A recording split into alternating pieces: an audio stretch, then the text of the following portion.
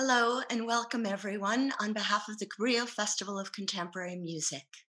I wanted to start by giving a little context of why Cabrillo Festival might be hosting this amazing panel discussion on voting rights.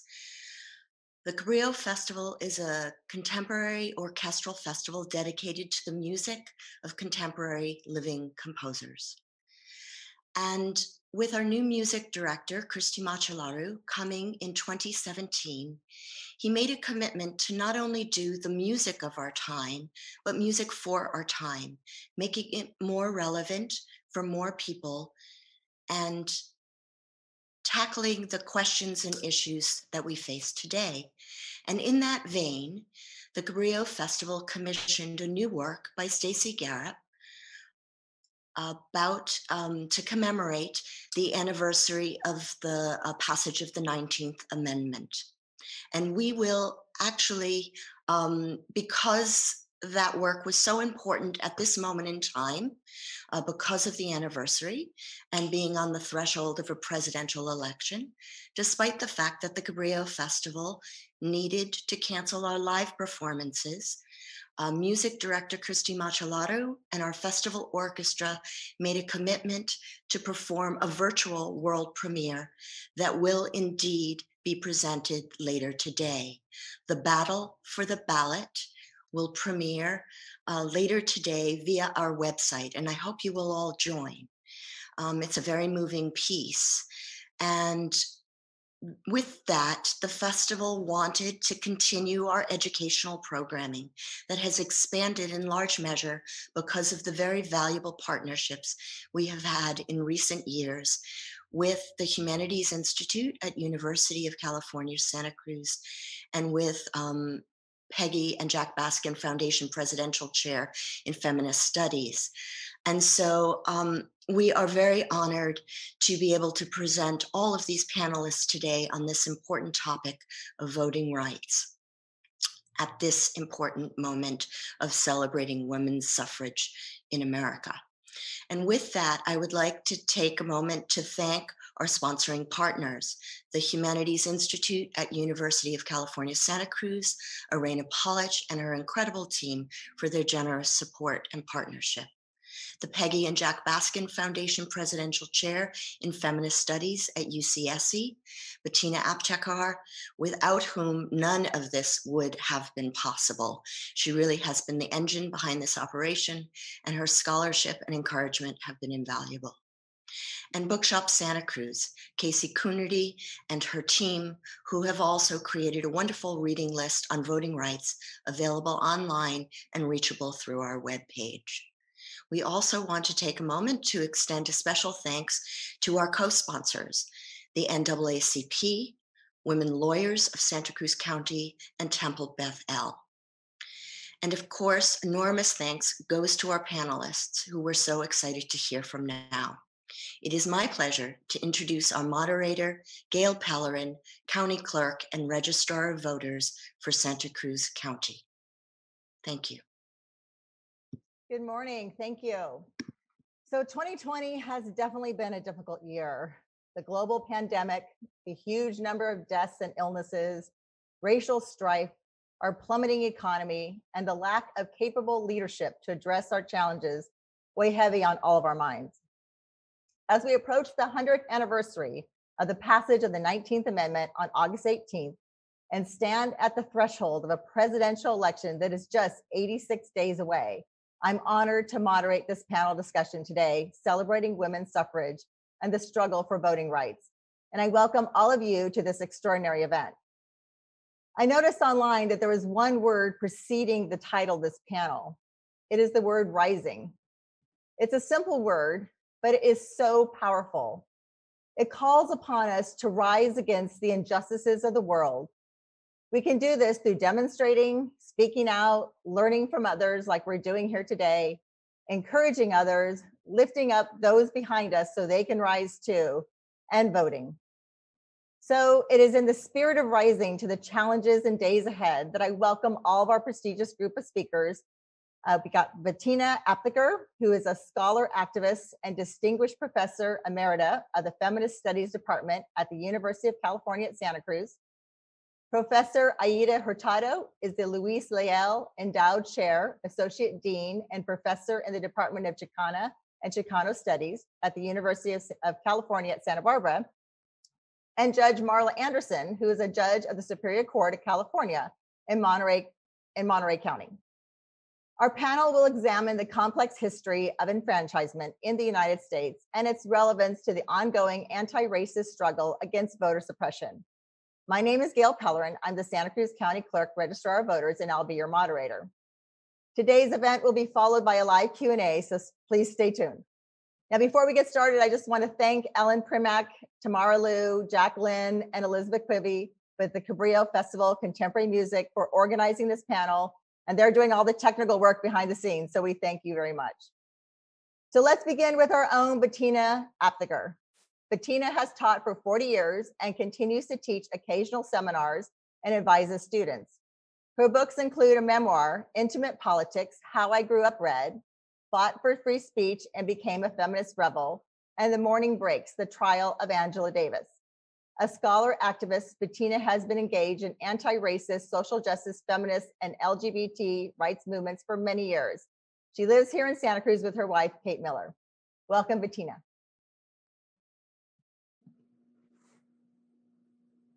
Thank you so much. I'm absolutely delighted to be here and um, very happy to be able to participate in this wonderful presentation for all of us. I want to welcome everyone and thank you so much for joining us today, wherever you are in the world. I'm delighted to join my esteemed panelists and to honor the Cabrillo Festival's inaugural performance of the new work by Stacy Garrop uh, tonight, The Battle for the Ballot. For our, ba- for our panel, I am tasked with telling a little of the history of how women's suffrage was won and I emphasize that it's a little history because it was a long struggle and it's a very complicated story. And I've sliced it down to just tell a little piece of it. Um, and I'm going to focus particularly on the struggle to extend the suffrage to all women. My overriding theme is that the struggle for women's suffrage was completely intertwined with the struggle for black voting rights. In the struggle for women's suffrage protests, marches and parades were frequent and effective, visible, energizing. For example, as you're seeing on the slide, the Women's Suffrage Parade of 1915 was held on October 23rd. 25,000 women marched up Fifth Avenue in New York, all of them dressed in white and blue with a blue sash across the bodice, the colors of the movement. The parade was led by women on horseback, as you can see, and made for a dramatic, memorable, exciting event. The suffrage amendment, which had been long since introduced in the Congress, was stalled in committees, especially in the United States Senate, controlled by Southern whites, who were rabidly racist. They represented the remnants and descendants of the old slaveholding oligarchy. They were still trying to undo and nullify the 15th Amendment, granting black men the right to vote. And insofar as possible, they wanted to suppress any notion of expanding suffrage rights, much less to women. While the suffrage women worked for the federal amendment to the United States Constitution, they also conducted campaigns to win suffrage at the state level. The annual parades were intended to keep suffrage front and center in tandem with congressional and state legislative campaigns. Meanwhile, on the civil rights front, next slide, the NAACP organized marches also on Fifth Avenue. Here's one of them uh, you see the picture here now of the NAACP silent march against lynching held on July 23, 1917. Men were in the lead, and the drummers kept up the steady cadence of both mourning and resolution. The men were followed by women and children. Next slide, please. Nearly 10,000 participated in this march, which was urgently called after whites rioted in East St. Louis killing and injuring scores of black residents and burning black homes and businesses. The NAACP was largely in support of women's suffrage, and black men in northern and western cities could vote, and they were passionately urged to do so. Woman suffrage was on the ballot in New York in November 1917, just after that march, and it won. The black vote helped its success. The black vote was also important in California in 1911 and in Pennsylvania in 1915, where campaigns for women's suffrage were successful. Ida B. Wells. Next slide, please. Ida B. Wells was a journalist and activist who led an international crusade against lynching. She was an ardent supporter of women's suffrage. Among her many works was a book called A Red Record, published in 1895. Here, Wells made the vital connection between lynching and suffrage. She wrote The government, which had made the Negro a citizen, found itself unable to protect him. It gave him the right to vote, but denied him the protection which would have sustained and maintained that right. Scourged from his home, hunted through the swamp, hung by midnight riders, and openly murdered in the light of day, the Negro clung to his right of franchise with a heroism that would have wrung admiration from the hearts of savages.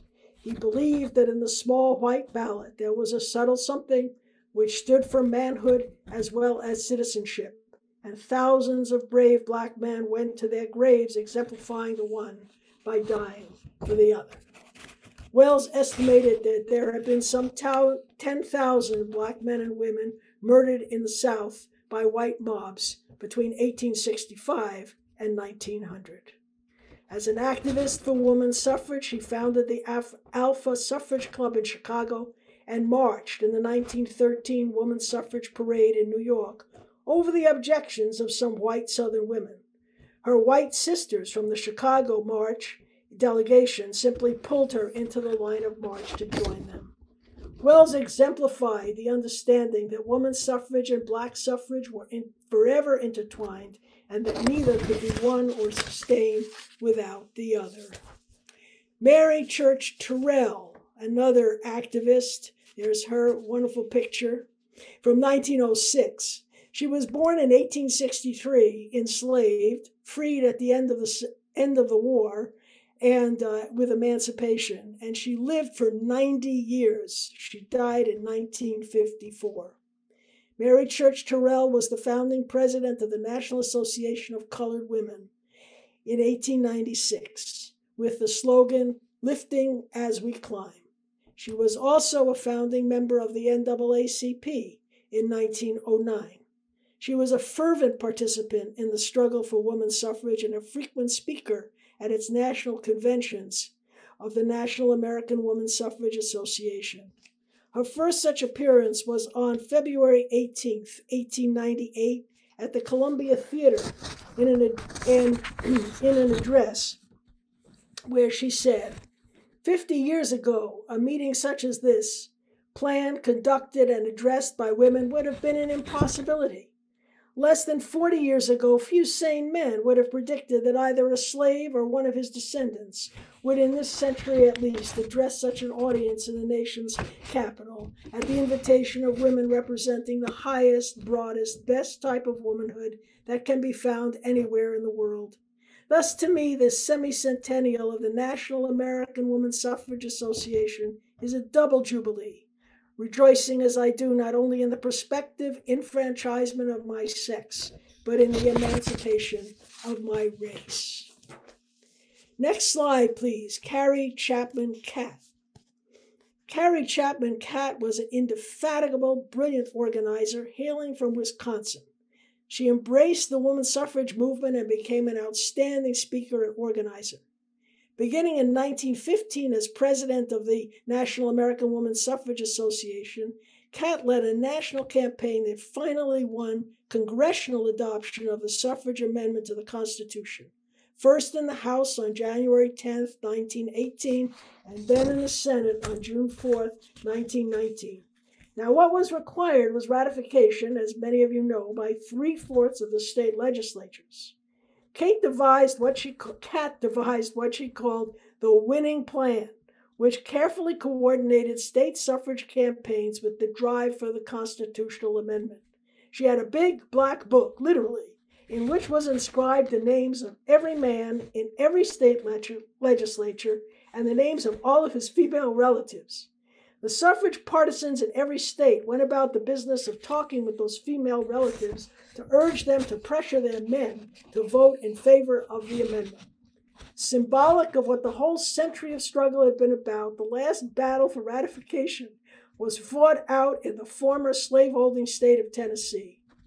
After a bitter struggle in which the enfranchisement of black people was the underlying issue, the Tennessee legislature voted its approval of the Women's Suffrage Amendment on August 18, 1920, by one vote. The deciding vote was cast by a man named Hugh Burns. When asked later why he voted for it, he said that his mother told him to, and I quote, always did what mother said. After the final victory, Carrie Chapman Catt summarized the meaning of their labors and the suffrage victory. She said, it is doubtful if any man, even among suffrage men, ever realized what the suffrage struggle came to mean before the end was allowed in America. How much of time and patience, how much work and energy, aspiration, how much faith, how much hope, how much despair went into it. It leaves its mark on one, such a struggle. It fills the days and rides the nights. Working, eating, drinking, sleeping, it is there. Most women in all the states were at least aware, at least on the periphery of its efforts and interest when they were not in the heart of it. To them, its success became a monumental thing. But not all women won the right to vote in August 1920. Next slide, please. Gertrude Simmons Bonnin was uh, born in the Yankton Sioux Reservation in South Dakota. Her Lakota name was Zitkala Sa, which means red bird. Bonnin was a strong advocate and organizer for women's suffrage, and many Native women were actually involved in the suffrage movement in various ways. Educated at a Quaker boarding school, she was later a graduate of Earlham College. After the ratification of the 19th Amendment, Gertrude Simmons Bonnin reminded the rejoicing, newly enfranchised white women that the fight was not over. Native women could not vote. Indeed, Native Americans did not become citizens of the United States until 1924. It was the Native women suffragists, Bonnin among them, who organized and pressed for passage of what was called the Snyder Act of 1924, which extended U.S. citizenship to all Native people. Indigenous scholars note, however, that, quote, in response, many states enacted Jim Crow like policies aimed at disenfranchising Indians. In 1926, Bonnin founded the National Council of American Indians, which identified land and resource issues facing Indian people. Throughout her lifetime, Bonnin served as a spokesperson for self determination and the values of Indian culture. Next slide, please. Fannie Lou Hamer. With the victory of women's suffrage in 1920, black women in the South went by the thousands to register to vote. They were not even admitted into the courthouse. Just as black men had been so brutally disenfranchised for generations, so black women were also prevented from voting by whatever means necessary. Women's suffrage was a momentous victory, but it would be another 45 years before black suffrage was won in the South with passage of the Voting Rights Act of 1965. Fannie Lou Hamer was a sharecropper from Ruleville, Mississippi. When she and other black women tried to register to vote in 1963, they were thrown off their land. Then she and others were arrested. In jail, she was brutally beaten. She suffered severe internal injuries and was hospitalized for a considerable time. Once back on her feet, she resumed her work with the Student Nonviolent Coordinating Committee. Folks said she was completely fearless, determined, and believed in the will of God. With black folks unable to vote, the Democratic Party primary elections in Mississippi and elsewhere in the South were all white. Mrs. Hamer determined to change that and organized with the Student Nonviolent Coordinating Committee something called the Mississippi Freedom Democratic Party. She was its driving force and main strategist. She led their elected delegates to the National Democratic Party convention in August 1964 and challenged the all white Mississippi Democrats. However, the convention's Rules Committee refused to give credentials to the Freedom Democrats. Members of the New York delegation gave a seat to Mrs. Hamer to allow her to enter the convention floor and testify before the Credentials Committee. She gave a powerful speech on the meaning of democracy, broadcast on national television. She told her story of trying to register to vote and the details of the terrible beating she had sustained. And then she said, All of this is on account of we want to register to be first class citizens. And if the Freedom Democratic Party is not seated now, I question America. Is this America, the land of the free and the home of the brave, where we have to sleep with our telephones off the hook because our lives be threatened daily, because we want to live as decent human beings in America? Mrs. Hamer was not seated, nor were the Freedom Democrats credentialed, nor were they allowed to vote. But her speech galvanized the country. In its aftermath, the Democratic Party was very soon to be transformed. The 1965 Voting Rights Act, with its strict provisions for federal jurisdiction in determining voting protocols and laws in those states with a history of racial violence and black disfranchisement, finally succeeded in establishing voting rights for black women and men in the South. That's how black women won suffrage, a century after the end of slavery and 45 years after the victory of women's suffrage. In conclusion, Republicans today are doing everything they can to suppress the voting rights once again. But we are living in a moment of great reckoning about race in this country. There is so much trauma, so much rage, so much grief, and so much ongoing suffering. And yet at the same time, there is so much courage, strength, and resilience. And the battle for the ballot, the title of tonight's premiere performance, goes on. Thank you so much for the opportunity to participate in this panel.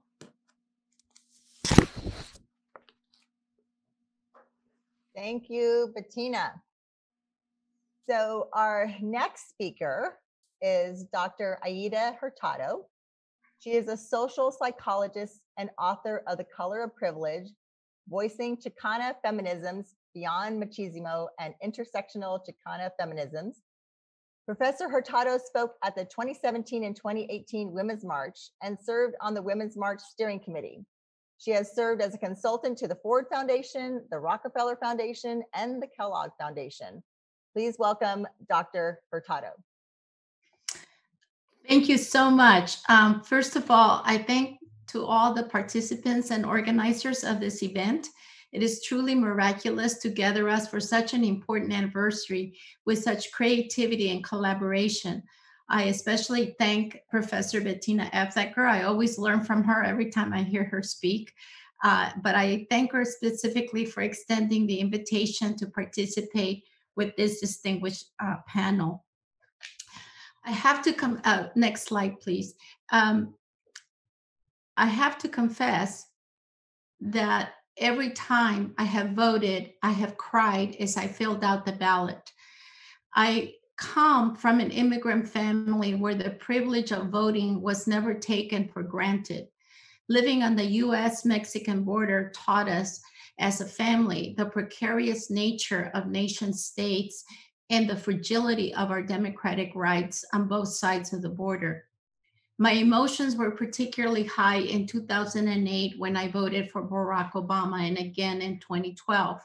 However, the 2016 presidential election was particularly emotional as many of us had worked many years on feminist causes and we savored the possibility of seeing the first woman become president of the United States. Next slide, please. I could hardly sleep the night before the election in anticipation of driving to cast my ballot. This photo was taken in Santa Cruz on November 8th, 2016 at 6:49 a.m. and I was wearing my sparkly LA shoes when my husband and I were on our way out the door to vote. I wore white and in a celebration to what we all thought would be an electoral victory. Next slide, please. For me and my family, elections at all levels have been personal. The feminist movement alerted us that the personal is political. That is, that what happens inside the private sphere had political implications. Who did the housework? Who took care of kids? Who carried the emotional labor necessary for families and communities to survive? Was a gender process that landed primarily on the shoulders and souls of women. This was certainly true of women of all races, ethnicities, and even class, of course, with the support of economic privilege playing a strong role. However, for my family and for my community, the political was also deeply personal. Who had political power intervened in our lives at all levels. Next slide, please. when when marriage equality was on the balance multiple times in the past decade next slide please the outcome affected my sister and her wife and their boys. We feared for their safety and their well-being. Next slide please. When cesar chavez and dolores huerta were organizing farm workers we knew that their unionization efforts, next slide please, determined whether my father, Guadalupe Hurtado, had health insurance, a decent wage, and even restroom facilities on the fields where he worked. Next slide, please. Most recently, the struggle to ensure that DACA was not overturned by this administration affected many of the students in my Chicana and Chicano studies classes as many of them walked anxiously to find, waited anxiously to find out whether they would be deported after they had lived most of their lives in this country. Next slide, please. The feeling that the political is personal is what mobilized many of us to march in Washington, D.C. the day after the presidential inauguration As we boarded planes, cars, public transportation, or walked to the march. We did not have a set agenda. We did not have a set of goals. Mostly we were saying, not in our name will this administration turn back the gains that we as voters have painstakingly fought for, beginning with the struggle to gain voting rights. This aerial photograph is a small slice of the over 4 million uh, in attendance nationwide, not counting the hundreds of marches worldwide. Next slide, please. In fact, the idea of the march began with the assertion that we will not let our representation be invisible.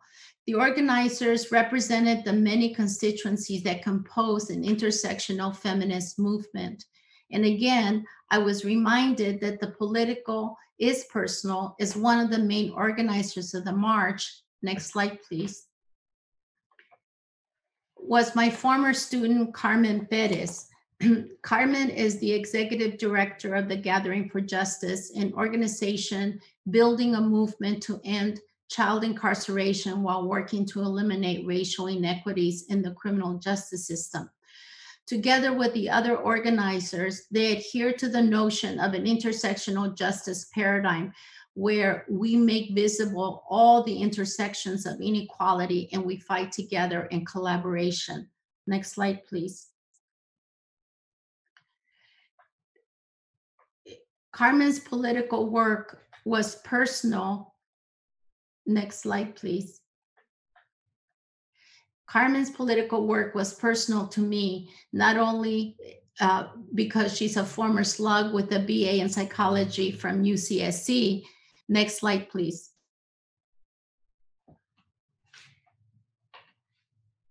Next, because, but she had taken my course on Chicana feminisms, uh, the first ever taught at UCSC in the fall of 2000. I taught the course from a personal perspective that embodied my politics and my experiences with multiple sources of inequality for my family and my community. Next slide, please.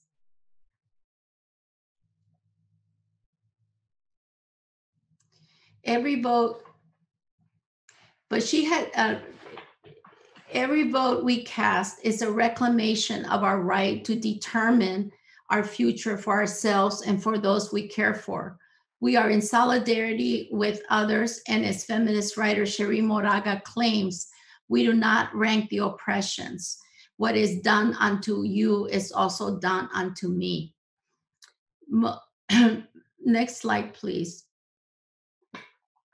Most recently, we have lost a champion of voting rights, uh, John Lewis. He claimed that democracy is always in the making. It is not something we possess or arrive at, but that is renewed, affirmed, and recreated with each subsequent election. Former President Obama urged us during John Lewis's eulogy to not look at Lewis' legacy, but at the agenda that we have inherited from his struggles. He proposed the following steps for remaking our democracy passing the John Lewis Voting Rights Act, making sure every American is automatically registered to vote, including former inmates who have earned their second chance, adding polling places and expanding early voting and making election day a national holiday. So if you are someone who is working in a factory or a single mother who has who has a job she can't leave, they can still cast their ballot. Guaranteeing that every American citizen has equal representation, including American citizens who live in Washington, D.C. and in Puerto Rico ending gerrymandering so that all voters have the power to choose their politicians, not, not the other way around. This is an ambitious agenda, and these are difficult times. It is not easy to see a path forward. Like Michelle Obama recently discussed, many of us are living under a low grade depression. These feelings of despair and hopelessness are not new to me every election I have voted in has been with a mixture of dread and hope that the X on the ballot box will take those I love and those I don't even know to a better place. When I was young, I would dwell in this despair. And my father, who never earned minimum wage, would chuckle and say, Mija, social change is like Mexican dancing dos pasitos para adelante y un pasito para atrás, two small steps, steps forward and one step backwards. The important thing, he reminded me, is never stop dancing. Thank you very much. Thank you, Dr. Hurtado. So we will now hear from Judge Marla Anderson. Judge Anderson is a judge of the Superior Court of California in Monterey County, where she has served for more than 25 years and has presided over a variety of trial calendars, including criminal law, family law, juvenile law, probate, and civil law. During her tenure as presiding judge, she instituted a strategic plan to improve judicial administration. She's a member of the Judicial Council of California, the policy-making body of California's courts. Welcome, Judge Anderson. Hello, and, and thank you so much. And it has been my pleasure to participate on this panel and be a participant with uh, Bettina Aptheker as well as Dr. Aida Hurtado. And what I'm going to do is just take a few moments to take a look at some of the landmark cases of the United States Supreme Court. Since the 1870s, Congress has enacted laws applicable to the states to protect against disenfranchisement and discrimination in voting, and thereby increasing participation. So we're going to take a brief look at the United States Supreme Court decisions that interpret the constitutionality of these laws and in turn impact the voting rights landscape. We'll take our next slide. Our next slide. And the first uh, case we'll take a look at is that's the United States versus Cruikshank. This was decided in 1875. This is one of the first cases to address uh, voting rights and the constitutionality of Congress's uh, ability to enact laws. Uh, this case arose out of the 1873 Colfax massacre of African American men over a political dispute that resulted in three white men being convicted of violating the 1870 Enforcement Act. And what was interesting about this case, it was a hotly contested gubernatorial race. And at that time, uh, the Republican Party was the party that was uh, in charge of enforcing rights of uh, African Americans uh, post Civil War and during the construction. And it was interested in making sure that African Americans weren't disenfranchised, or African American men, actually, weren't disenfranchised from voting. And there was a gubernatorial race where it was uh, not known uh, the next day after election who won. Republicans thought that they won the gubernatorial race. The Democrats at that time, who had a large uh, participation of Ku Klux Klan members, thought that they had won the gubernatorial race. Well, a group of African American men armed themselves and went to protect the courthouse in Colfax.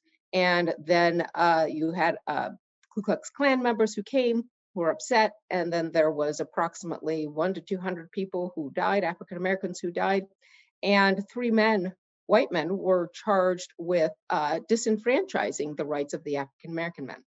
And it went all the way up to the United States Supreme Court. The men were convicted, uh, criminal conviction of uh, denying the constitutional rights of these African American men because they uh, denied their right to assemble and they also denied the right to bear arms as well as denied the right to participate in the voting process. And in this case, Chief Justice Morrison Waite uh, wrote the opinion for the court and overturned the convictions of the three white men. And the basis for overturning those convictions was that the government of the United States is one of delegated powers alone, and its authority is defined and limited by the Constitution, and all powers not granted to it by the Constitution are reserved to the states or the people. And these convictions were set aside because really what the decision meant was that your individual rights, as well as any rights under the state, should be fought out in the states. And it's not to be uh, taken care of by Congress. That Congress does not have that power, at least at this time in 1875. The court interpreted interpreted that Congress did not have the power to enact a law to protect the disenfranchisement of the individuals uh, that lived within the states, and that Congress didn't have the right to tell the state what to do. There wasn't a particular constitutional provision that gave them that power.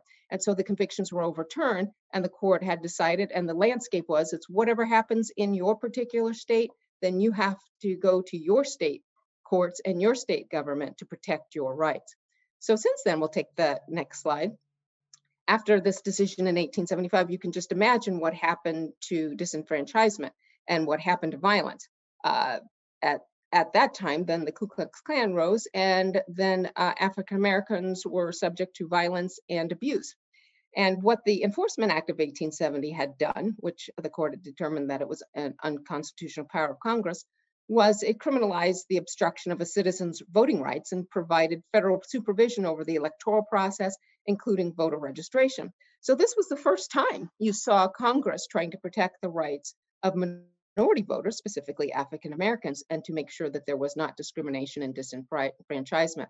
And those were provided by the post-Civil War Reconstruction Amendments, the 13th Amendment, which uh, prohibited slavery, as well as the 14th Amendment, which granted the citizenship to those who were born and naturalized in the United States, and the 15th Amendment, which uh, provided the right to vote, that it's not to be denied or abridged on account of race, color, or previous servitude. And so that was a landmark case, which really changed the landscape of voter participation as well as assembly of minorities, in that unless you had a state that protected you, you really didn't have much by way of any right or any type of enforcement against it because at that time uh, Congress was deemed not to have the congressional power to provide those protections. So we'll now take a look at another US Supreme Court case. The next slide.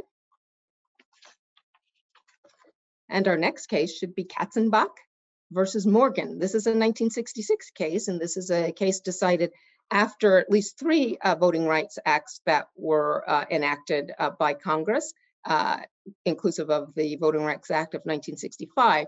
Here in the Katzenbach case, uh, registered voters in New York brought a suit uh, against Katzenbach, who was the Attorney General at the time, and they were upset because the Voting Rights Act of 1965 had a provision in it that said any uh, Puerto Rican who was uh, educated in a Puerto Rican school and up to the sixth grade, there was a presumption that they were literate enough. And, and at this time, there were literacy laws uh, still in place uh, until the uh, Voting Rights Act of 1965. And in this case, uh, the voters were upset to say, why should somebody who doesn't speak the language be permitted to vote?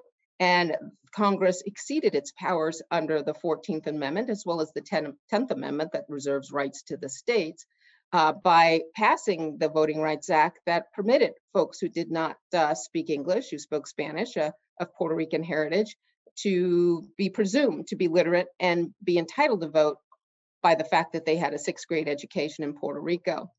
And Justice uh, William Brennan wrote the decision for the court.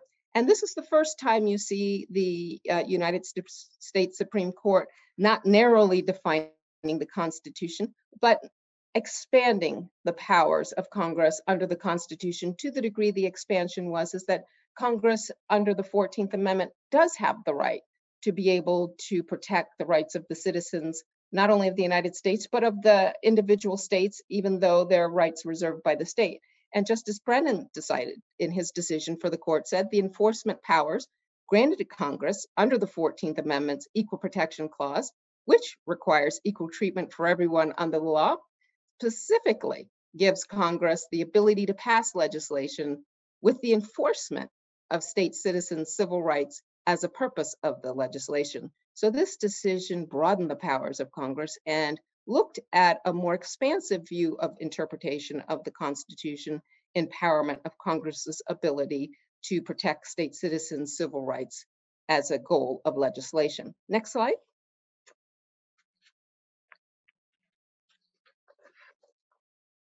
And here we have uh, the Civil Rights Act, first uh, that were enacted by Congress to protect the voting rights of citizens. We had the Civil Rights Act of 1957 that authorized the Attorney General to sue for injunctive relief to protect racial minorities. You had the Civil Rights Act of 1964 that mandated that registrars equally administer literacy tests in writing, and that's the time when you had literacy test to each voter and create a rebuttable presumption, again, that persons with a sixth grade education were sufficiently literate to vote, and the Landmark Voting Rights Act of 1965, which prohibited states and local governments from imposing voting laws that result in discrimination, outlawed literacy tests, added special provisions for pre-clearance requirements and a coverage formula. And what the uh, Voting Rights Act of 1965 is it recognized that there was discrimination out there and that there were certain states and certain jurisdictions that had engaged in voter suppression. And so there was a formula that was devised at that time to be able to put those jurisdictions and states on a list where you had to seek permission from the US Attorney General or from a panel of the United States District Court in the District of Columbia for preclearance to change any of your voting rights laws or how voting took place within the state, and with the goal of assuring that uh, discrimination was not part and parcel and the main goal of that particular state law. Next slide. And we should have uh, Citizens United versus Federal Election Commission in 2010. And this is also a landmark case uh, that uh, changed the landscape of uh, enfranchisement and disenfranchisement of voters. And in this case, it was a nonprofit organization called Citizens United uh, that made a disparaging film about then candidate Hillary Clinton, and they wanted to run this advertisement during the 2008 election. However, the Federal Elections Campaign Act banned corporations and unions from spending money and amassing money uh, to advocate during the election. At 60 days before general election or 30 days before a primary, you couldn't run ads uh, against an, a candidate who was running for office, and corporations weren't allowed to do so. Well, the nonprofit organization of Citizens United uh, then went ahead and sued in court, and Justice Anthony Kennedy wrote the decision for the court, which changed the landscape of how much money you have and how much you can advocate uh, for a particular candidate. And the decision was that corporations and unions can spend as much money as they like to convince people to vote for or against political candidates as long as the spending is independent of the candidate. So a corporation or a union can amass as much money as they'd like, run it whatever campaign that they would like to run in terms of advertising, as long as they're independent from any particular uh, candidate and they disclose who they are. And this ruling gave corporations and unions the right to free speech protection under the First Amendment. And this changed the landscape to the degree that it added money now to advertising. Those who can amass money can control what advertising is out there because, you know, individually, uh, citizens aren't able to amass that money themselves in order to do election advertising. So this is uh, something that changed the landscape. Next slide.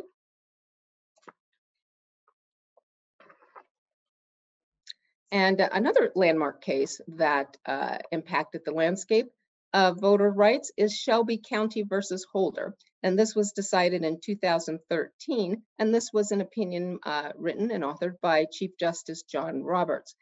Shelby County in Alabama was a covered jurisdiction. And what a covered jurisdiction was is under the Voting Rights Act of 1965. Uh, if you were a jurisdiction that under the formula you were determined to have previously engaged in voter suppression or discriminatory laws in voting, then the formula placed you under the 1965 Voting Rights Act and you needed to get pre-clearance in order to change uh, any of your voting laws or any of your rules with respect to voting. And Section 5 of the 1965 Voting Rights Act uh, is the process by which you can get out of pre-clearance. Well, in Shelby County, they decided to go ahead and sue the U.S. Attorney General in the District Court of District of Columbia, and they sought a declaratory judgment that Section 4B and Section 5 of the Voting Rights Act of 1965 are facially unconstitutional and a permanent injunction against their enforcement. And again, the act established a formula to identify those areas of the county where racial discrimination in voting had been more prevalent, as well as provide for more stringent remedies where appropriate. Well, uh, Chief Justice John Roberts authored for the court saying that the coverage formula set forth in Section 4B of the Act was unconstitutional. And as a consequence, no jurisdictions are now subject to the coverage formula portions of the Act, and there's no need for a bailout request. And the bailout request was under Section 5, is how do you uh, get the pre-clearance and or how do you bail out to say, we have uh, come a long way and we have enforced the rights of our voters, and so we should not uh, be under the coverage formula. That was the bailout section. The court held that Section 4B exceeded Congress's power to enforce the 14th and 15th Amendments, and the court reasoned that the coverage formula conflicts with the constitutional pr uh, principles of federalism and equal sovereignty of the states because the disparate treatment of the states is based on 40 year old facts having no logical relationship to the present day and thus is not responsive to the current needs. And what that means in sum is the court says your data is old, and since your data is old, then there isn't a compelling reason uh, to impose the 14th and 15th Amendment uh, Act uh, on the states. Uh, pretty much, I guess the court was indicating that the data of discrimination was old. I think they were specifically focusing on not that the data of racial discrimination is old, because that remains the same, but they were for uh, looking at the data of who was on the list and the data about the specific state or jurisdiction placing it on the list was old. And so since it was old, then the application of Section 4B was unconstitutional to the states.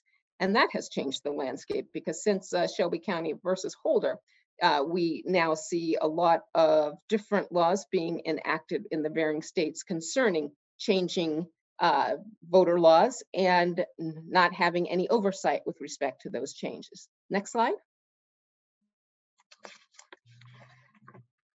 And then we have a more recent case in 2018, and this is Husted versus A. A. Philip Randolph Institute. And A. Philip Randolph Institute was a civil rights organization group that filed suit on behalf of an individual voter. And Husted was the uh, uh, Secretary of State for Ohio.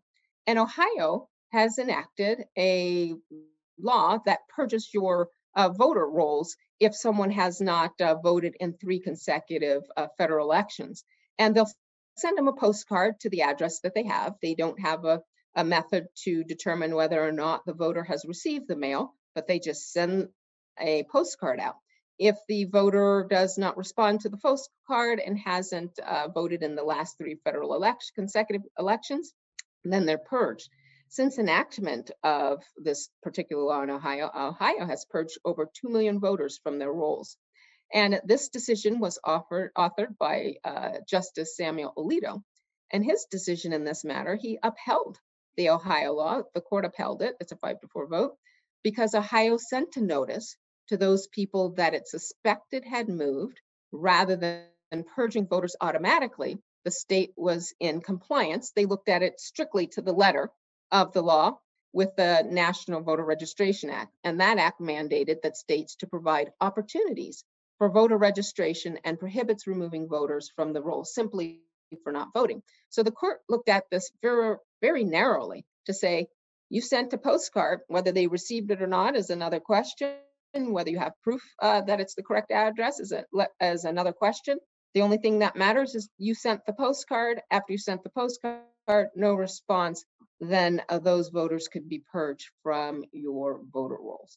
And so that also has uh, changed the landscape uh, in Ohio with respect to uh, voter enfranchisement in that if you, such in this case, the uh, person who, real party and interest, the person who sued, wanted to vote in the 2015 election, didn't know he was dropped from the voter registration list. He had voted uh, early on, I believe in, it was in 2008, but hadn't voted in 2012, didn't vote in 2014, uh, and didn't vote in 2010. And so he was dropped. And so this is where the suit came from is, hey, I want to vote, but you dropped me. So now I have to start from square one. But the court indicated that the Ohio law is constitutional because it sent you a postcard, whether you got it or not, the court didn't look at that. It's they sent it, and so you were properly purged. Next case. And then we have the Republican National Committee versus the Democratic National Committee. And this is a recent case in April of 2020. And this was a decision on a preliminary injunction. Uh, the uh, district judge in West, Wisconsin uh, on an application for preliminary injunction ordered extension of the deadline for absentee ballots to be submitted, as well as the time for the registrar to receive those ballots uh, in the April 7 Wisconsin election. And the Democratic National Convention and some other groups as well had requested that the, ex the extension of time to permit more voters to participate in the election because of the COVID pandemic. And what had happened was just a few weeks before the April 7 election in Wisconsin, and the pandemic, COVID had been raging. And so there was a request from the court. The specific request was to extend the deadline by which voters only, I believe it was three days, they wanted extension of time for voters to actually request an absentee ballot and get it in the mail because voters were became, becoming afraid to get in line because of COVID. Well, what the district court had done is not only granted their request to extend the time by which a voter could ask for an absentee ballot as well as uh, mail it in, the court also extended the time by where the registrar voter could actually receive the actual vote. And uh, then uh, the Republican National uh, Committee uh, filed uh, a request in the United States Supreme Court to stay the injunction for that election.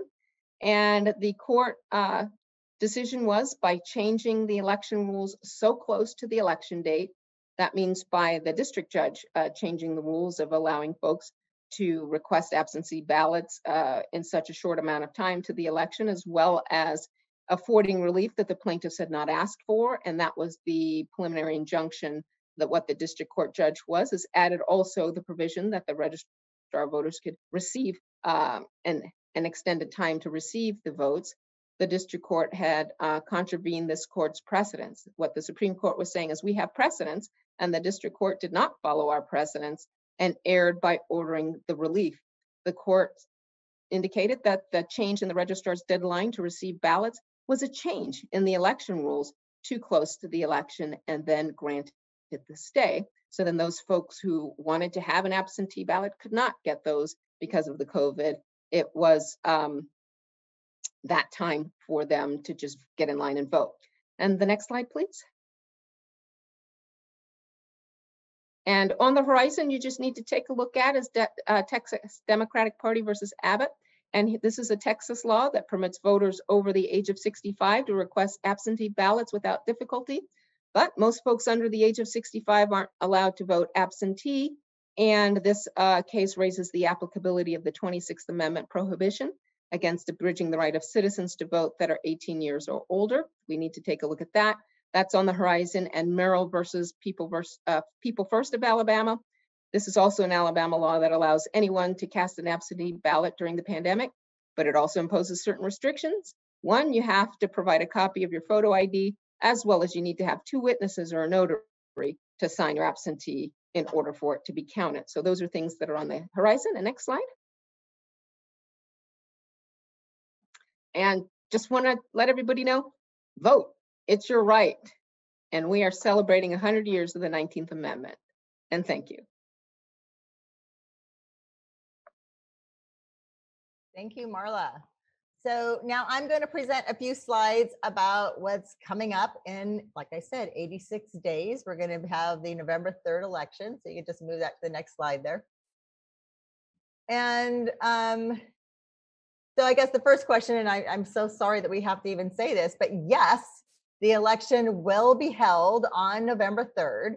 Uh, this is something that Congress passed um, years ago and it has never been changed. And the president cannot unilaterally decide to cancel the election, even if it's martial law. Martial law does not suspend the Constitution.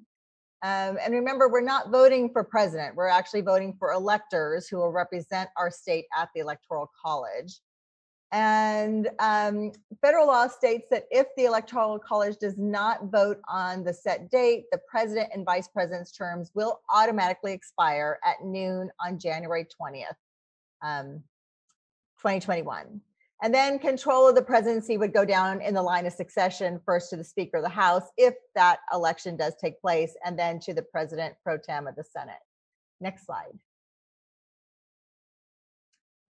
So in California, ballots will be mailed to all voters in the state, and that is pursuant to Newsom's executive orders. He did two of them, and there's been subsequent legislation to codify that into our statutes.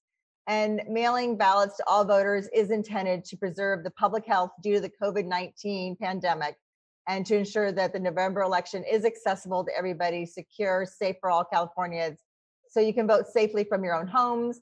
There also will be in person voting options as well. So counties are going to be mailing their ballots to all voters by October 5th, and our military and overseas ballots will be sent out to those on the voter file starting September 4th. So coming up very quickly and counties will encourage the remote accessible vote by mail ballot system for military and overseas voters and that allows them to access their ballot via email mark it and then fax it back to us um, and mail is going to be used for our military and overseas as a last resort so our big push is to stay safe and vote from home next slide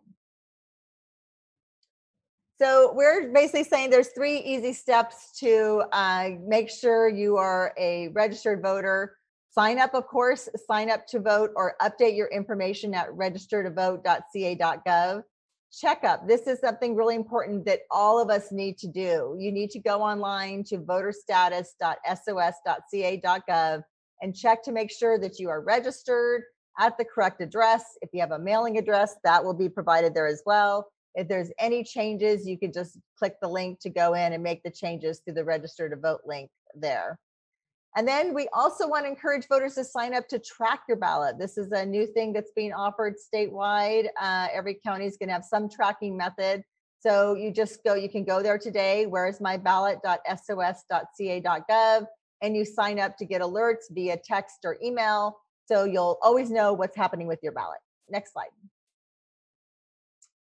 on returning your ballot um, so just because it's confusing when we use the word vote by mail uh, because it doesn't dictate that you return it by mail it only says that we're mailing it to you. And as you heard from our other speakers there uh, sometimes uh, states use the word absentee and that's because you actually have to be absent from your precinct to uh, uh, request it and it's very limited but in, in California, all all voters will be mailed a ballot, and uh, to return it, you got to make sure you sign the envelope. Make sure you sign it in your own handwriting. Don't let someone else sign it for you. And you can drop it off at any ballot drop box provided by the county elections official. That the, the ratio is one for every 15,000 voters. You can also drop it off in person at any voting location that will be operating, and all county elections offices in the state open starting October 5th for voting. If you do mail it, postage is paid in California, but due to concerns about mail delivery, uh, we are encouraging people to mail it a week before the election and make sure it's postmarked. If you do mail it closer to election day, including on election day, I would actually walk it into the post office and make sure it gets stamped and then go ahead and put it in the mail cycle.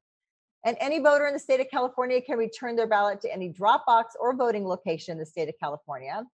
And if you can't return it yourself, uh, enlist the help of someone you trust. Uh, they will need to provide their name, signature, and relationship to you on the ballot envelope. So next slide, please. So there's five different voting models that you're going to see in the state of California. Some are going to be doing traditional polling sites where voters are assigned to a location. It's roughly one to for 10,000 voters. They're open Tuesday only and voters are assigned to go to that location. Some counties, due to COVID, because locations are not readily available, nor are people to staff these locations. So we have to be a little more careful in, in how we plan this election. So we do have legal authority now to super consolidate voting locations at a ratio of one to 10,000 voters. And in some counties, they're going to assign voters to go to a location and they need to be open a minimum of four days, Halloween through election day, and ballots would be specific to that assigned voting location. The super consolidated voting location model is what we are doing here in Santa Cruz County. Again, the ratio is one to 10,000, but voters can go to any location. So any voter can go to any location and obtain a second ballot or do same day voter registration or get voter assistance, vote on the accessible tablet or get a, a ballot in Spanish on our tablet. Um, but we do need to be connected to our database and we do have to have capability for on-demand printing. And again, we'll be open the minimum four days. Uh, and some are doing a, a, combination of those above models. And then we do have vote center counties where there's 15 counties in the state that have um, uh, been doing all mail ballot elections where they mail ballots to all their voters and voters can go to any location. And the vote centers are defined by the Voters Choice Act and vote center counties using them have developed uh, election plans reviewed by the public and they will be open a minimum of four days as well next slide please so just i just want to quickly go through the maps of the state of california. I figure there'll probably be people watching this from all over the state. So these are the different models that the counties are looking at deploying right now. Uh, next slide shows you that the rural smaller counties are more likely to do a traditional polling place model. And then the next slide is, um, and then counties like us who are exploring this, these vote center, vote center like um, models as well. And then the next slide. So the safeguards of voting using the ballot mailed to you, uh, we do have the law that says that ballots that are postmarked on or before election day or timestamp, but we then and received by us now, the law changed to 17 days after the election. It used to be three days. So now we have 17 days after the election, which is good because we have seen mail take up to 10 days to make sure that we get that ballot and it would be considered received on time. We also check the signature on every single ballot. We compare it to your signature on file. And we do have a number of signatures for you from your voter registration card. If you register to vote online, the signature on file is the same signature on your driver's license.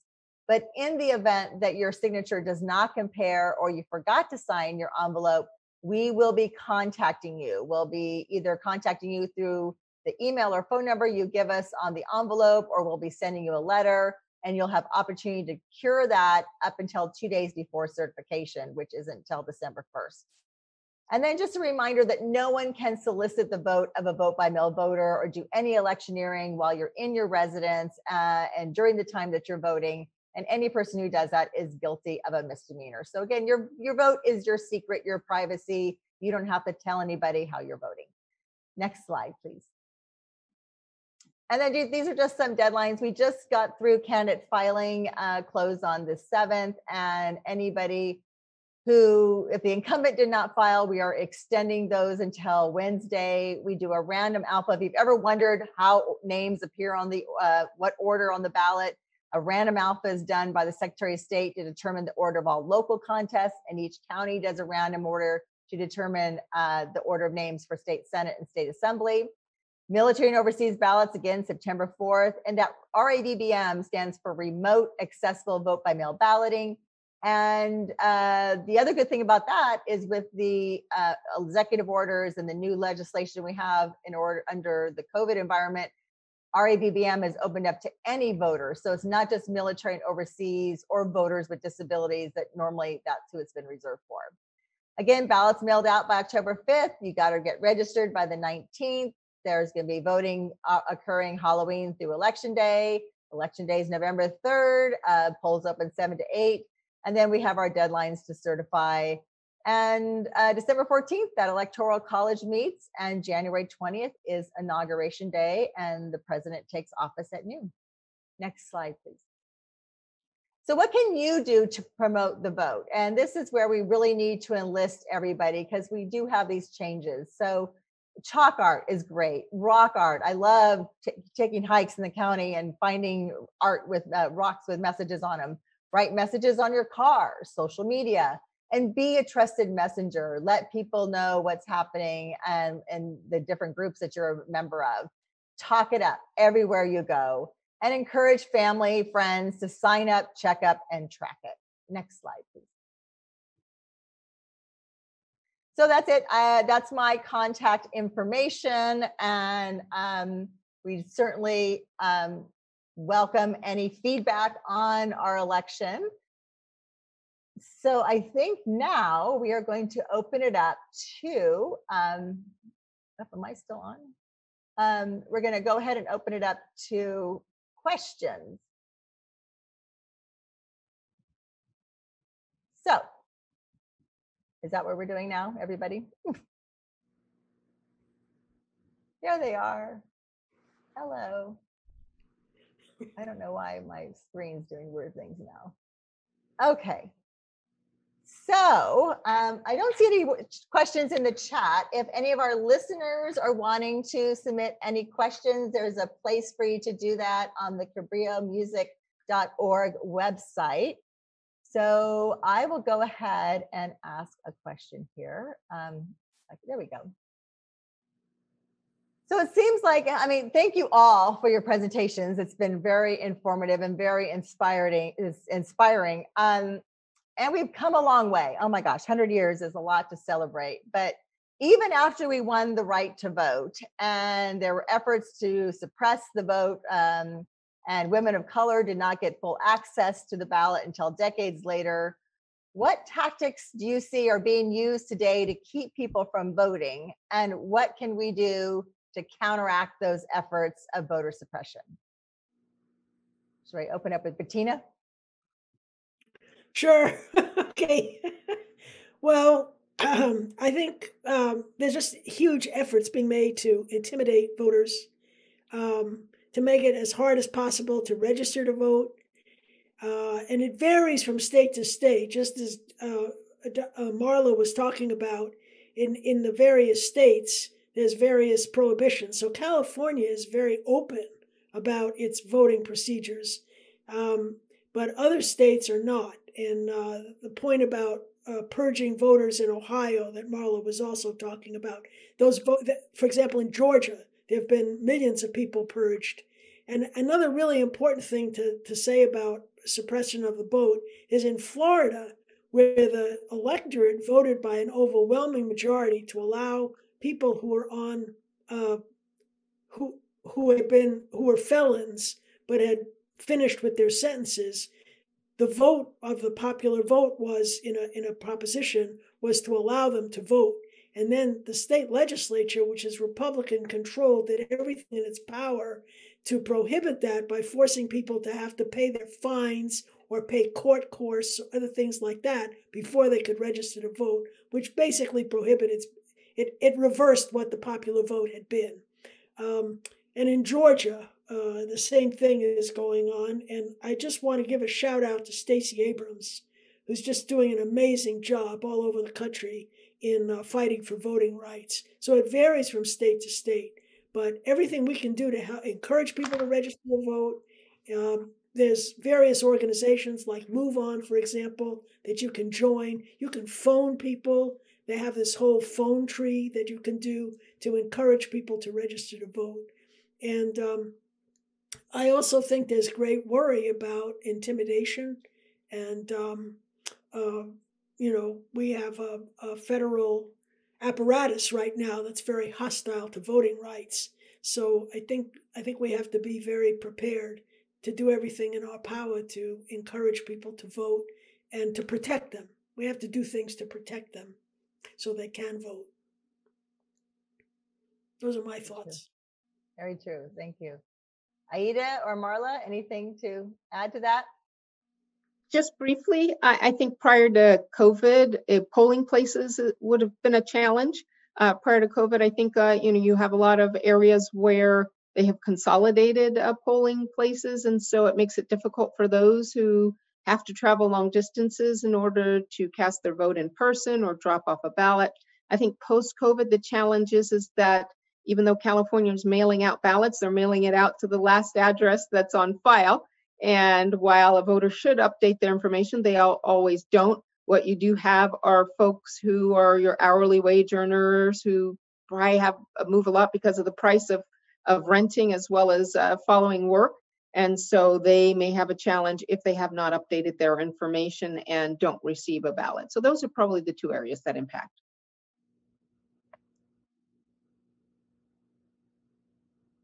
Aida, you're muted. I was trying to follow instructions. Uh, uh, I think that for Latinos and Latinas, uh, there are may, there are a lot of barriers. One of them that's very um, prominent is language, right? So there's a lot of Spanish speakers in many areas. They do not translate um, voting materials. They don't know the process that well, and there's very little outreach uh, for the for generally. Uh, so that's one issue. And I think the other issue is much more generic. I think that um, there are now we uh, have a very fragmented society with multiple channels of communication and information. And i think that the way that elections are run we're not very sophisticated about how different working class people especially communicate with each other. So i have a colleague at UC Santa Barbara, uh, Professor Ines Casillas, who's written this brilliant chapter on um, how women use this um, app called WhatsApp. And they use it so well and so efficiently that if you really want to get voters, you learn how to use that app. And it's uh, it's transnational how they communicate with each other through this um, through this app. And um, I think there's just a lot of fragmentation, a lot of confusion. And the more working class poor you are, the less you are reached by uh, mainstream channels. And so uh, I think for me that's a real fear that it's it's it's systematically keeping people away from the knowledge necessary to um, to mark their humanity through the ballot box, and and that's very worrisome. Thank you. Okay, so we do have some questions in the chat. For some reason, it's not working for me, but um, one question was if you plan to drop off your ballot at a ballot box, do you need to do so before November 3rd? Yes. The deadline to return a ballot is 8 p.m. November 3rd, either in person, one of our drop boxes, but again, if you do it to a postal service, get it stamped with the postmark. Um, a few more questions here. What is John Lewis's Voting Act goal? What is it trying to remedy?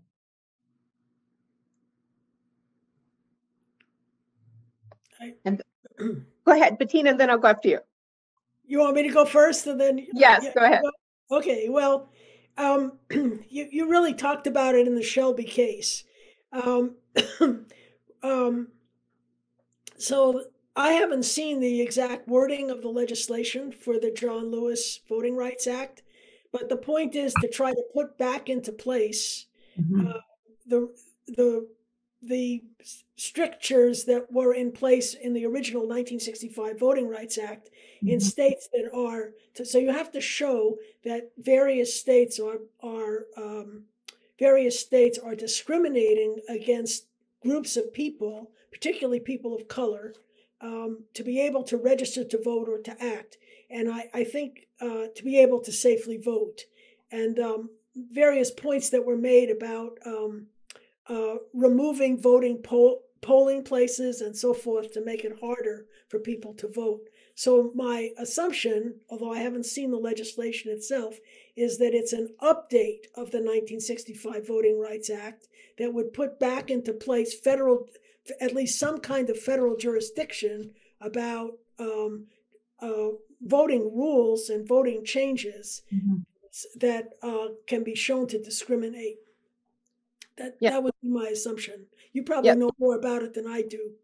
I, I haven't seen the text, but I know uh, the Supreme Court just invalidated Section 4B. And Section 4B was the formula uh, utilized to determine which jurisdictions uh, are covered under the act and have engaged in historical uh, voter suppression.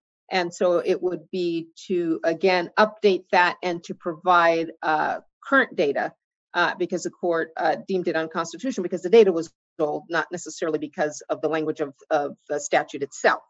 And so it's to short up to be able to say current data, current information, here's our new coverage formula. These are the people who uh, it applies to currently based on the data and the coverage formula. And section five was not declared unconstitutional, so then it- you would need to pre-clear. Thank you. Yeah, excellent. hmm Exactly so. So we have another question here in the chat. What are we doing to ensure that the postal service doesn't willingly participate in voter suppression? Does anybody want to take that? Well, I'll start it. I can start that, which is there's a there's a huge campaign now to fund the post office, and um, uh, the person in the White House has put in one of his mega donors as the postmaster general, who doesn't know anything about the postal service, and um, I think the effort is to defund the postal service to such a degree that it that it's not able to handle the volume of mail that would be necessary um, in order to really have a, a vote by ballot, ba- to have voting by uh, by mail a successful strategy. And it's uh, I you know I find that very criminal at a time when you have the pandemic. And I, I remember a sign by a, a voter in Wisconsin. Uh, Marla referred to that case in, in, in Wisconsin where they were forced to vote and the pandemic was raging and this guy was standing there with a sign that says this is ridiculous and um, so i think that we have to there, there are campaigns to fund the post office and i think that that's very important. I want to make one other point which is a very large number of people who work for the post office are people of color. Mhm. and it, it has been a source of uh, stability uh, as a federal job with a lot of good benefits and, and retirement and so forth. So there's a ra- there's a racist edge to this, uh, in my view, um, that I think we should pay attention to as well. I do feel confident for California. I mean, we've been meeting with our postal reps and they are, uh, they reassure us that the ballots are going to get mailed on time and, and I'm just encouraging people, once they get that ballot, to return it if possible.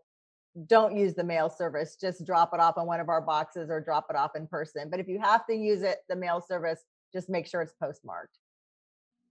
So, Okay, we have another question here about why are people concerned about fraud with the vote by mail or absentee ballot? They're probably worried about fraud because they're worried about people are going to actually vote. so that's a red herring. Uh, yes, I think anything in life, you're going to have people who take advantage of a system. And it, I mean, that no matter what you do, there is nothing, you know, perfect uh, that you can say is 100% perfect. What you're looking for is are those things that have credibility to it and our system has credibility and i think people are raising it as a red herring yes there will be uh, people who may try to take advantage of the system but you have to stop and think. Who would take their time to take advantage of the system and really try to participate in this?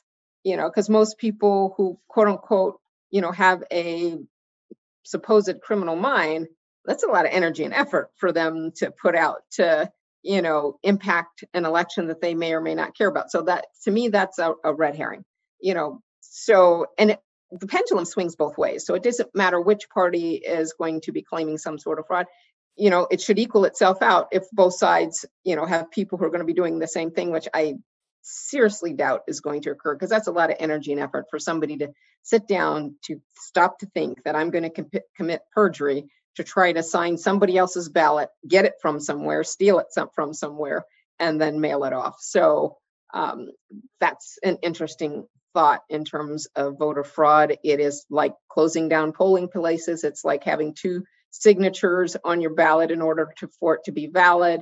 It's like anything else where folks are afraid of the outcome of an election. So then they start, you know, if you don't have the facts, raise noise.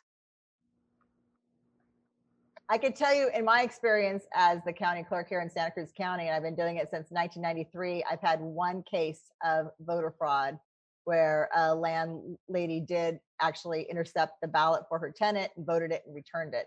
And the studies that have been done by Pew and, and Washington Post have shown that um, voter fraud for vote by mail ballots is minuscule, 0.000%, you know, very, very small.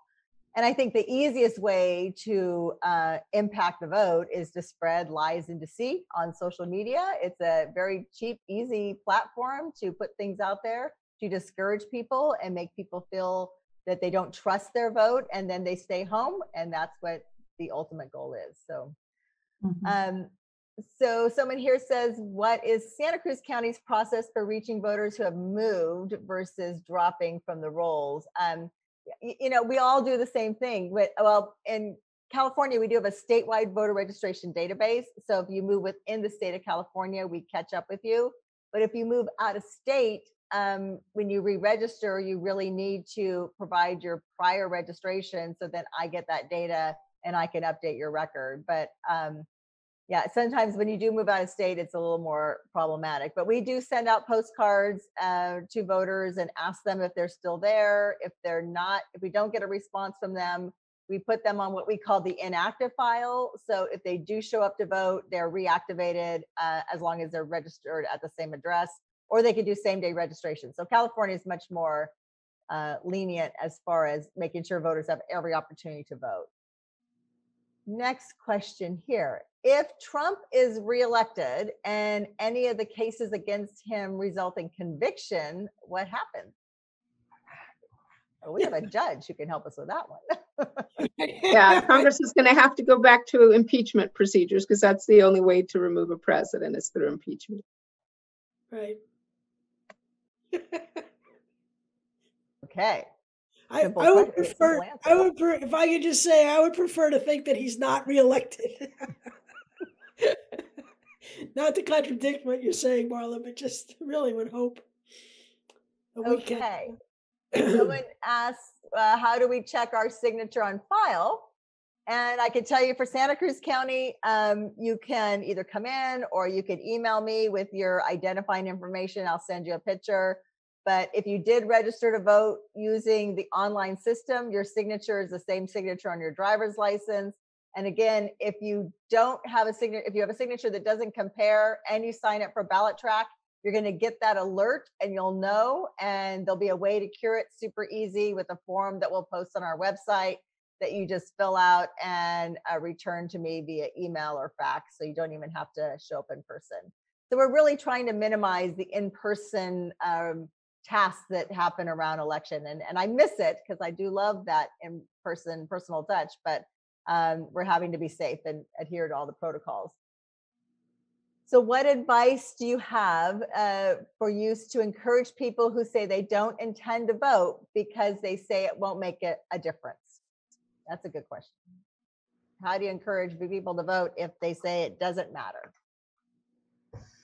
Well, you know, I think that's what I was trying to uh, do with my presentation is to connect the political to the personal and if you think about almost anything, if you're a you know civically engaged person, um, or you have family, or you belong to a community, almost everything um, that affects our daily lives, including inside our homes, uh, are affected by elections. I, I, um, we we have a family that's very civically engaged. Uh, our son is a supervisor in San Francisco, Matt Haney, and my sister is um, just working with the new DA first one ever in our family. We've always had public defenders.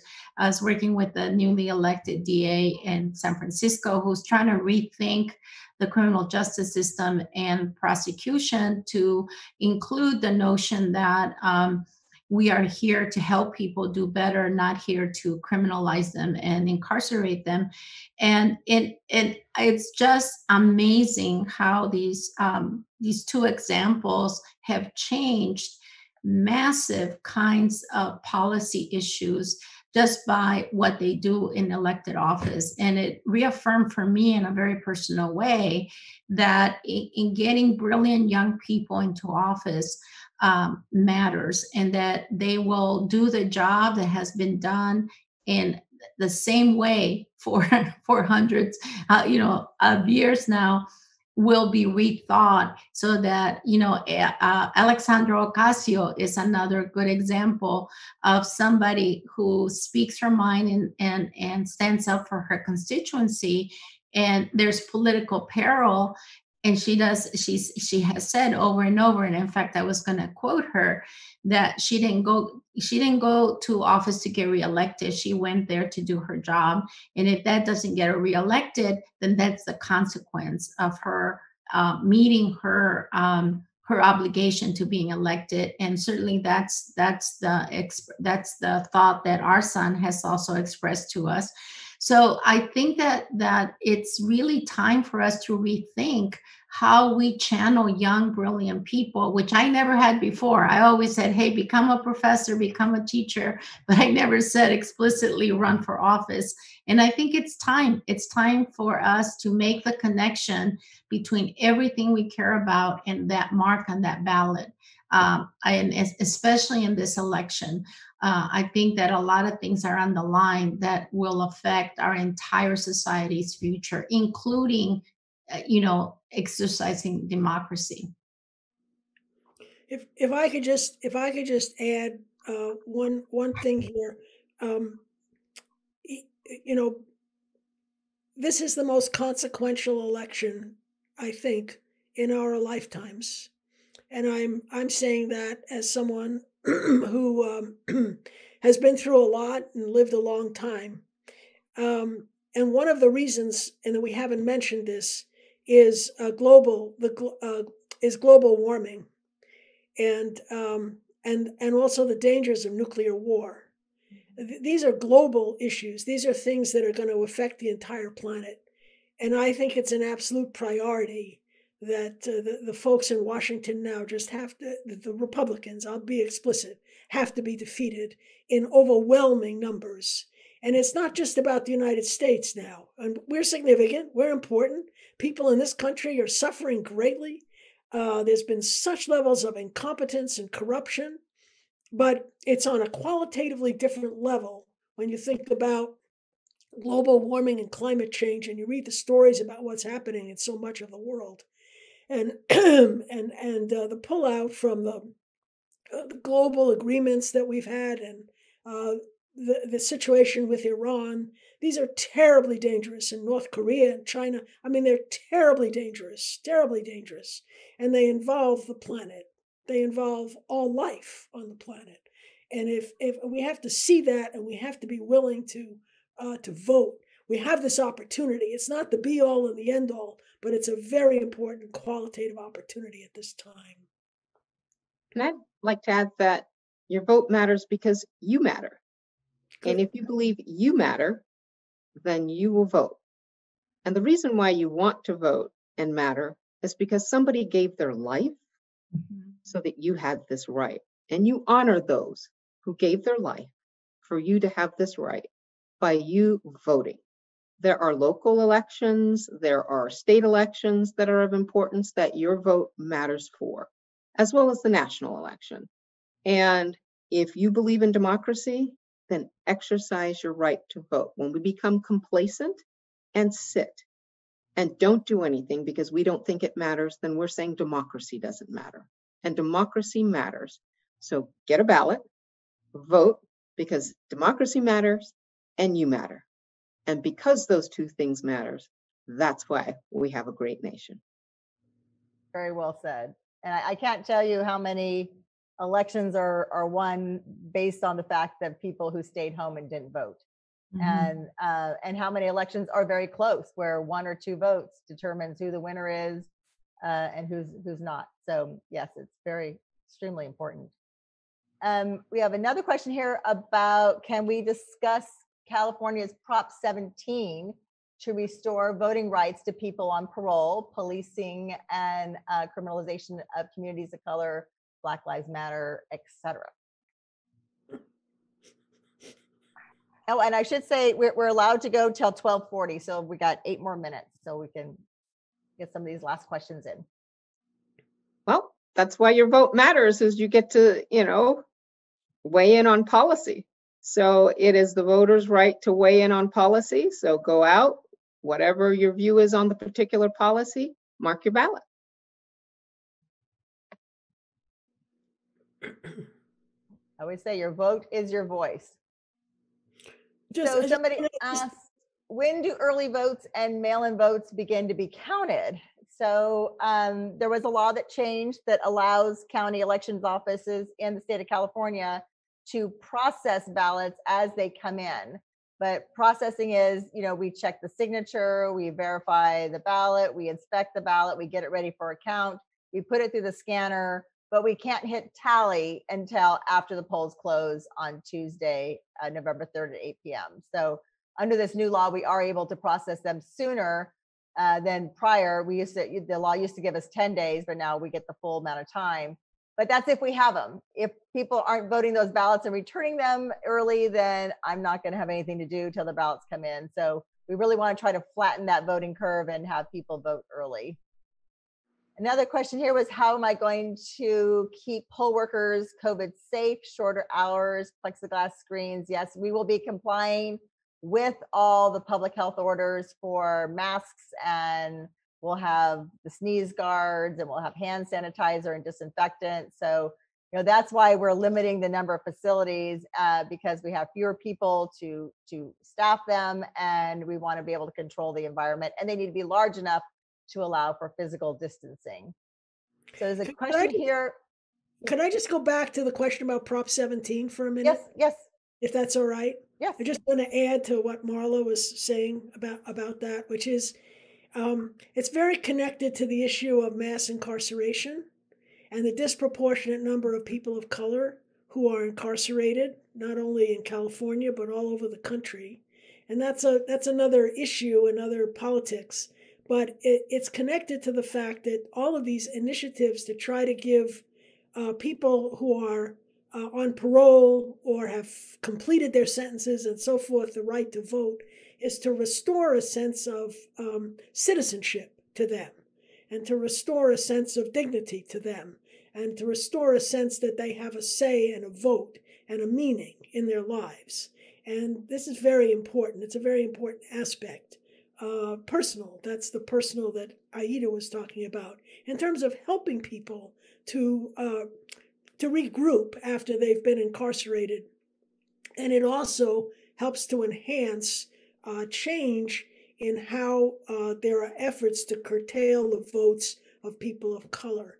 And one other thing I wanted to say, because Aida talked about AOC, uh, uh, Alexandria, I, I wanted to say her speech on the floor of Congress, where she condemned the sexual harassment and bullying was a very important moment that was nationally televised and it's still being shown and shown. And that again shows you the importance of the initiative. All these people that are registered are seeking uh, office now. And uh, there was a surprise victory by a woman in Tennessee. Um, I think her name is Marquita uh, Bradshaw, who just won the primary in the Democratic election in Tennessee. Out of and she had almost no money, and she had momentum and she got there on the ballot and she she won the primary so there's this wonderful moment of possibility and i just i wanted to emphasize that about prop 17 and people voting. Just add add to the chorus of what we're saying. No. I see from some of the other questions that there's um, confidence in the California system, but there's concern about what's happening in other states. Um, you know, someone raised concerns about the New York primaries and seeing long delays with counting. You know, my response to that is do you want it done fast or do you want it run right? And sometimes, I mean, democracy takes time. And so while some states will take longer, I think that I'd rather have it right in the end.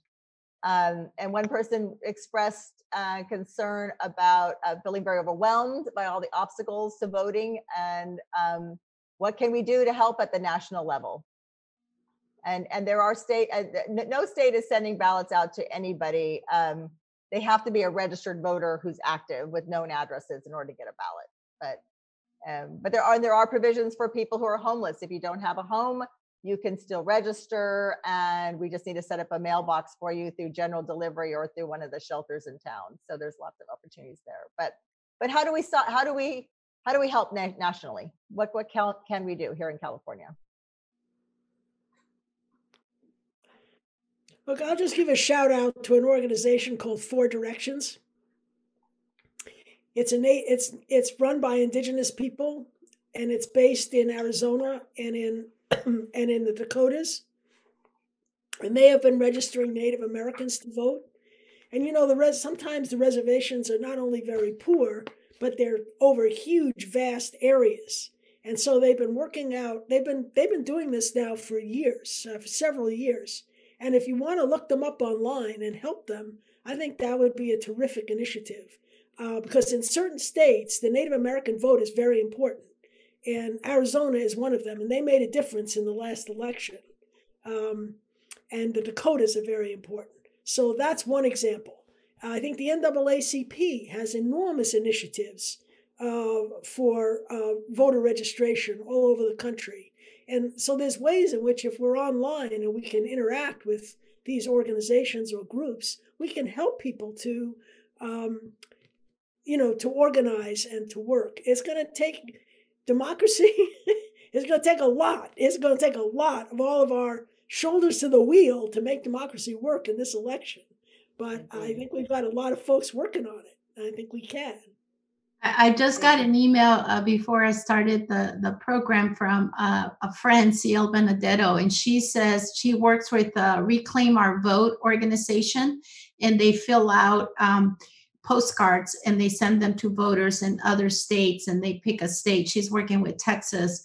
So there's a lot of different ways you can participate, even if you're situated in California. So, unfortunately, all good things must come to an end, and our time is up. So, I want to thank you all for joining us today. A special thank you to our distinguished panel Bettina Aptheker, Aida Hurtado, and Judge Marla Anderson. And another huge thank you to our sponsors, the Cabrillo Festival of Contemporary Music, the Humanities Institute at UC Santa Cruz, the Peggy and Jack Baskin Foundation Presidential Chair in Feminist Studies, and Bookshop Santa Cruz. And thank you to our co-sponsors, NAACP, Temple Beth El, Women Lawyers of Santa Cruz County. I want to invite you to join us tonight at 5 p.m. for the world premiere performance of Stacy Garrop's The Battle for the Ballot, commemorating the 100th anniversary of the passage of the 19th Amendment and featuring the Cabrillo Festival Orchestra. You can access the virtual event at the cabrillomusic.org website. We also have a wonderful art exhibit here on the third floor in the county building called Your Vote is Your Voice that was put together by Maria Gittin. I encourage you all to take some time to come view that. Thank you all for joining us. I leave you with this. There is no force more powerful than a woman determined to rise. And so we shall. Thank you all very much.